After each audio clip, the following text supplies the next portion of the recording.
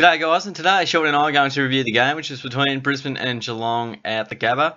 Uh, there was the Cats getting home by 10 goals in the end, mates, and what was a relatively comprehensive performance from the Cats. It wasn't perfect, but I thought it was uh, pretty good football throughout most part of the day. And uh, you were listening in on at work. Uh, how did you size it up uh, listening in on the radio?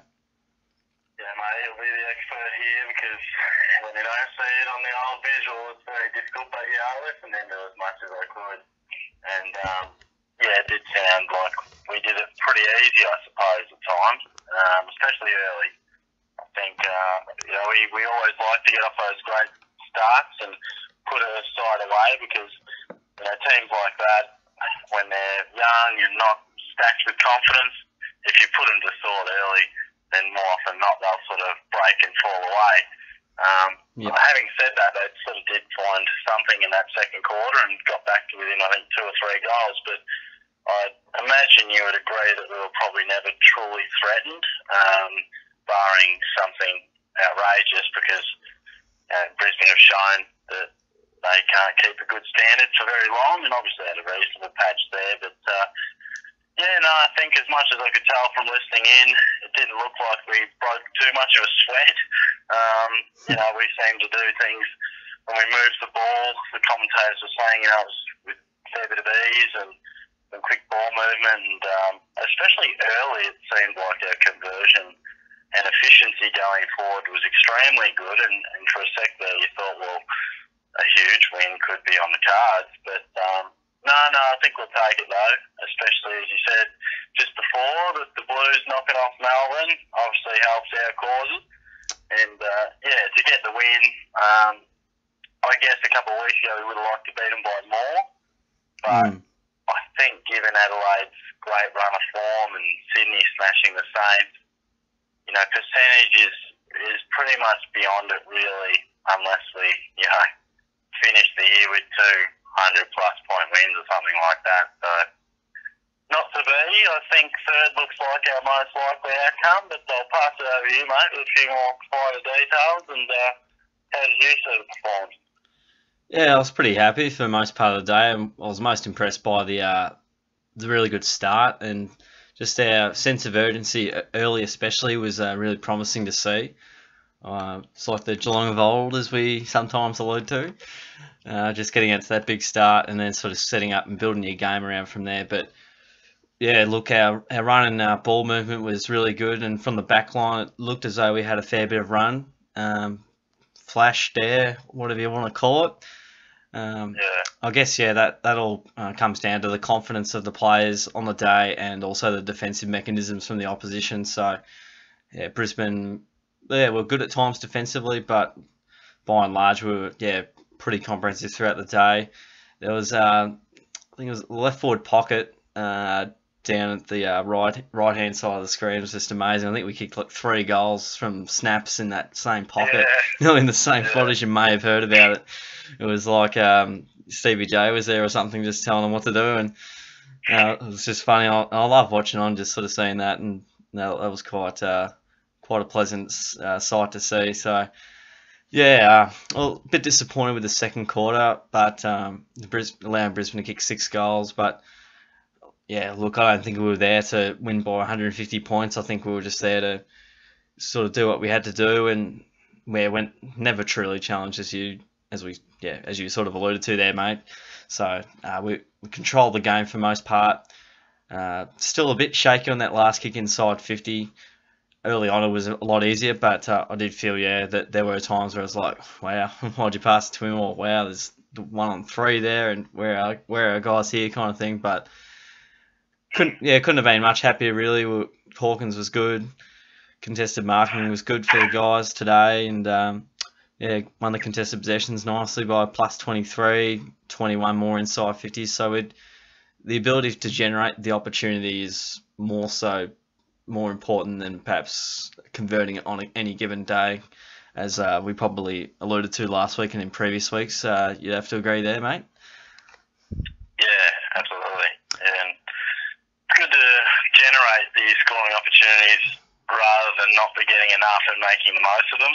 I think uh, one thing. While it is frustrating to maybe not convert you know, at, at the very peak, even though it was a bit better, um, the fact that we are generating those sort of scores and inside 50 gives us the opportunity. So that's something to hang the hat on, and uh, you just never know.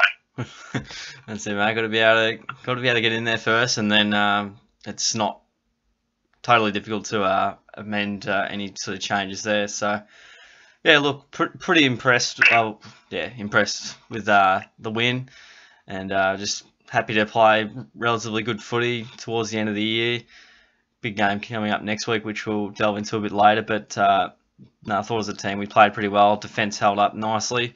Uh, Brisbane did a lot of. Well, they did exactly what we didn't want to do. Want them to do when kicking into our backline though. They they moved the ball pretty well. They sort of ran and carried with it, and uh, they did get a few long goals and whatnot, or at least long shots. And uh, yeah, Lepo was pretty pretty switched on there. He actually didn't kick in long and high, often like most or some teams can do. So they're pretty smart about that, uh, negating knowing that Geelong love that long high ball because Taylor Lonergan, Mackie Henderson, and those guys just eat those up for breakfast. So it's quite smart by Leopard there, and they had a good little patch. But overall, yeah, never truly challenged and answered when we needed to, and uh, I was yeah relatively pleased with how we played. It was a nice performance. Yeah, no, very good, mate. We'll move into the votes, and uh, your old man chucked them through to you through uh, the old text. Uh, what did you come up with? Yeah, absolutely. He gave Motlop the three votes. Obviously, hit the scoreboard very hard and sounds like he had quite an impact. Two votes to Menegola, who I think is probably the best thing to come out of that game. The commentators were raving about him and knowing where to run to the right spots, and they often comment on his running ability as well, not just right spots, but just endurance. And we know that he's the second best runner at the club, and he gave one vote to Dangerfield. So uh, I think he started early and missed a few late, but uh, it was one of those danger games where he just had back to the pill and um, you know hit the scoreboard as he does. So he gave him the one vote there, mate. So that was the old man's vote coming through the text. What about yourself? Yeah, good stuff, mate. Uh, I've gone with Menegola for the three votes. He got the uh, 33 disposals, six grabs, and also the four tackles. He, fought, he started on a, like a house on fire. I think he had 16 or 17 in the opening term, maybe thereabouts. Wow. Yeah, no, he was dominating early, mate. He, he, was loving life. So yeah, he got his hands on the footy, absolute brute around the contest. He uses the ball really well and effectively, and uh, that's what I love about him. He was a contested beast. Um, yeah, used the ball really well. Love the way he went about it. Uh, two votes to Paddy Dangerfield. Yeah, the 28 disposals, four marks, and five tackles, and kicked two goals for. If he uh, straightened up a little bit more, he probably would have had the three sewn up, and the umpires still could give him three. You never quite know. So, uh, look, yeah, he was the amount of meters he gains is incredible for the club. How strong he is, and how quick he is to get to to and from a contest and break away from a contest and hit the scoreboard. I thought was uh, really awesome today. And I'll give the one vote to Stevie Motlop, who we've been calling to be dropped. got, got, the uh, 23 touches next to his name, six marks, three tackles, and five lucky goals next to his name. And uh, career high for him, so he'll be wrapped with that. Uh, yeah, generally used the ball pretty well, had a bit of run and dash, and yeah, disciplined for most of the day. Gave away a silly 50, but you got to take the good with the bad with Stevie, unfortunately. But no, yeah. he, he, performed his role pretty well today, and he should be happy with that coming into finals. And uh, a few little shout outs. Uh, I was nearly going to give it to Corey Enright. He was really good. Selwood uh, was pretty good today. Nine tackles next to his name. Scott Selwood's yeah. Getting a nice uh, resume under the belt before finals. He's doing quite nicely. Henderson kicked a couple up forward with a bit of a swip, swip, swap up there, and uh, that was a good performance from the boys. Yeah, no, good, good. We'll move into the chopping block, mate. Uh, your segment. How do you see it this week, or how do you hear it this week? Yeah, and I guess two guys, um, Motlop and Blicavs, that we've talked about in the past. With, you know, Motlop showed what he can do, and that's why he's in the side, isn't it? And that's why we get frustrated when he's not playing to that level because we know it's there, and he's a is a gun when he's playing like that. And I'm not sure how Blicavs' game was. His stats didn't seem to light on fire, but um, yeah, just sort of reading a couple of articles during the week, and you know, he is an integral part to our pressure makeup and uh, you know, those tackles and uh, is extremely influential in the competition for pressure acts apparently. So it's probably something that the coaching staff really get around him for. So and something that the naked eye doesn't pick up, but. Is this Um, as far as chopping block, um, I think Darcy Lang and Shane Kersten will be there about.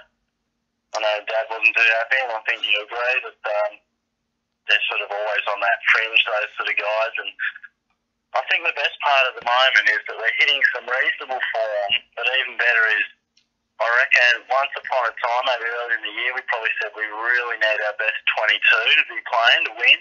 I reckon we've got a real solid 26, 27 players that can probably fill the starting 22, and we can be pretty confident we're starting to build some reasonable depth with, of course, Caddy coming back and Scott Selwood, as you said, I was going to mention him. He's starting to look good. Um, plays a nice sort of different, more defensive role in the midfield. And Menegola has just been a revelation, you know. Um, Yeah, we've we're found not one there. expect that every week, but if he can produce that every now and then and just has the capability to produce a game like that, well, that's a huge thing to add into your midfield. So I think the best part about it at the moment is sort of that depth that we have. Um, of course, Menzel didn't play, Cockatoo didn't play, neither did Bartel, and of course, Caddy there. So, look, mate, I think it's looking all right. I mean, I wasn't surprised they left Menzel out because they're going up to Brisbane, and you know they wrap him up in cotton wool. So he'll come do. back this week, you would say, and I think Cockatoo will be in the frame as well. Those two guys probably the most obvious ones to come into Kersten Lang that we mentioned. Yeah, you'd have to. Then- Yep. Yeah, yeah, you know, you've got a couple of other guys that will need to come back in, and the guys who go out aren't obvious. Uh, Menegola would have been one who got the opportunity, perhaps through injury slash resting, and you're not going to drop him now. So, um, Yeah. you know, someone like Kolodjashnij for, um, for Jimmy could be um, potential, but you know, he's shown that he's got plenty of ability and stopping ability, that is Yeah, he was um, really good today. So far. So yeah, to be honest, mate, it, it's a tough one because it was, was mid-season, you'd say, you know, we'd probably manage so and so or do this or do that. But you know, next week will be a bit of a finals like rehearsal, playing Mm. our best 22, you'd imagine. Yep. Um, and yeah, it's going to be really interesting to see how they go because you guys who have come into the lineup in the likes of Scott Selwood and Menegola look to be playing good footy and really pleased with them. So he couldn't see them parting way for the more experienced guys. Yeah. Yeah, it's, uh, did you have anything to add to that, mate? I mean, also good news that the VFL side knocked off the top team. So, you know, it, it's good timing at this stage of year, I think. Things are looking up, aren't they? Uh, where was Caddy today? Um, it's a good question. They, they just managed him, didn't they? Yeah, I I, know Jimmy was laid out. I think they just managed him, yeah? okay, yeah, because I've never saw the team sheet, so I've sort of only heard that uh, Mackie was coming back in, and that was about it. I sort of never really saw the team sheet, so never quite Yeah. got to see why he wasn't playing. But um, you would imagine he would. Oh, they must be managing him. I mean, he played a ripper against the Tigers, or played pretty well. I mean, you wouldn't have dropped him from a game like that. So, um, No, and he's crucial to our mid forward setup. So I think he, he probably had some sort of niggle and yeah, um, just elected to not go with him. yeah, he'll, he'll be back soon enough. Yeah, I think I'm looking at the list right now, mate. I think maybe because you've said Cockatoo and uh, Menzel for Lang and Kersten, I'd probably say Cowan. Oh, then there's Bartel as well. Yeah, you'd probably say a Cowan and a Kolodjashnij or a Ruggles, pending form, would uh, part way for Bartel and also Caddy, I'd believe, because you can't. I, you, you couldn't possibly kick Menegola out. No, no, it's a good point, and um, yeah, certainly I think Ruggles has just been tracking along okay, but I've I've quite liked Cowan's footy over the last two to three weeks. I'm not sure how he was today, but Yeah. no, you're right. I think um, he would certainly be a guy that would possibly being the, the way to sort of part ways with the side, but uh, a good fella to have, you know, Yeah. on the brink of it. Yeah, no, he played okay, I guess. Yeah, I mean, if you're looking at Bartel versus Cowan in a final, you probably lean towards Bartel or a caddy or a type Yeah. like that. So, yeah, well, it'll be interesting. It's good to have a bit of depth, mate. Yeah, absolutely. And I'll sort of touch on next week, mate, but um, take it through it. It's a game that could have been a real blockbuster, but um, won't be now. Never quite know. Uh, it's the Cats and the Demons at Simonds Stadium uh, next week on Saturday Arvo. Do you have work off? Nah, I'm working. Oh, no dramas. Um, cool, cool. Uh, the live chat. Um, yeah, so we've got the Demons at Simonds Stadium. Uh, it would have been really, uh, yeah, very intri- intriguing contest if uh, Melbourne got the job done today. We got the Chocolates against the Blues, but uh, it was the Blues getting the job done. So uh, that makes it mathematically impossible.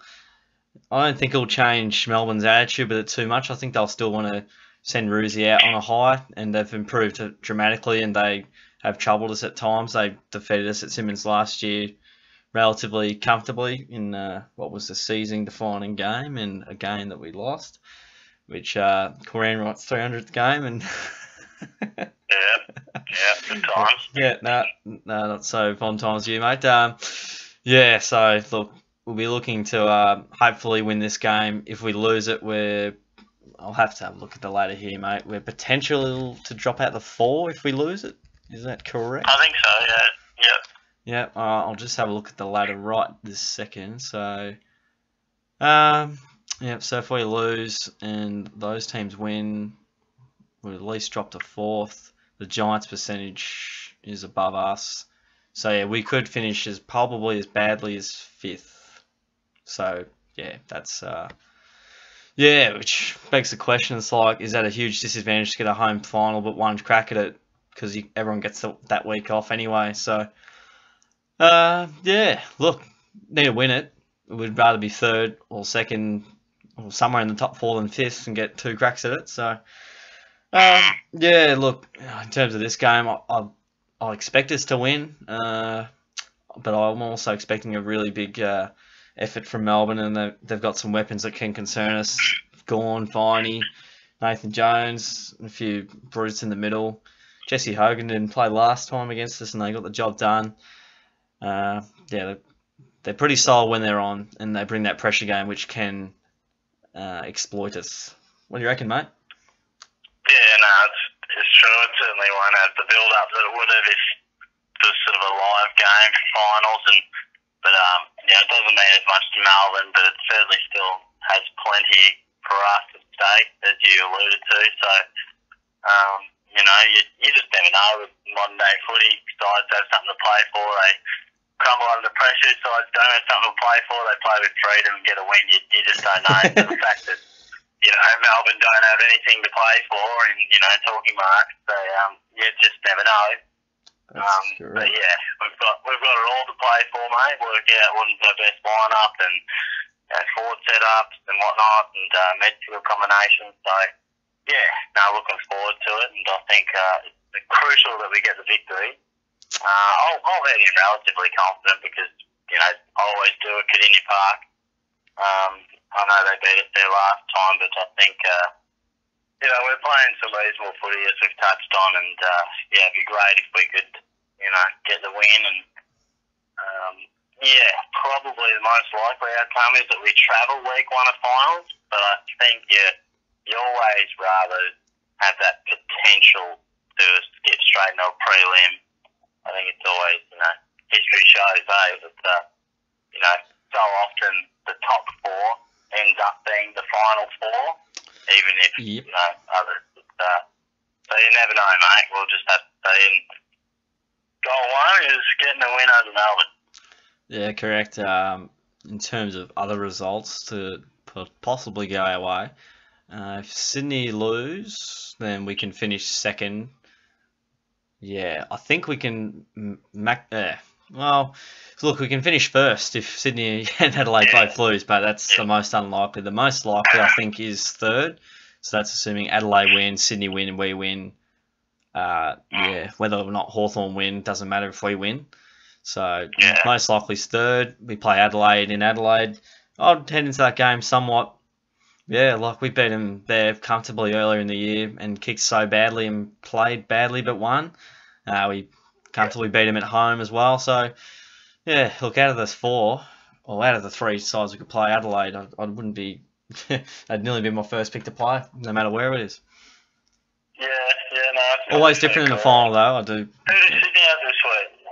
Sydney, let's have a look see at the fixture. I don't think it's I don't think it's difficult. They got the Tigers at the SCG, so Adelaide have West Coast, so at Adelaide Oval, that'll be exciting game to watch Friday night, mate. We'll hope the Eagles get up. I think yes, yeah, yeah.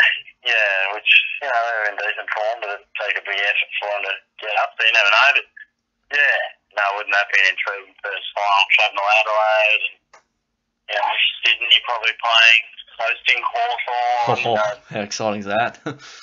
it's got a recipe of a great final series already, just with the nature of how even it is. So yeah, good stuff. Absolutely. All right, we'll leave it there, mate, and uh, nicely reviewed. Good work from you today. Thanks, mate. Nicely done. Solid. All right, thanks for listening in, guys. Uh, that's the review from Shorty and myself on the Cats and the Lions game with the Cats getting home by 10 goals, heading into round 23, playing the D, so hopefully we can get a win on the board there. We need it desperately. So thanks for listening in today, guys. Uh, don't forget to give the video a like and subscribe as well. It'd be fantastic. And uh, thanks once again for hanging around. We'll catch us on the next video.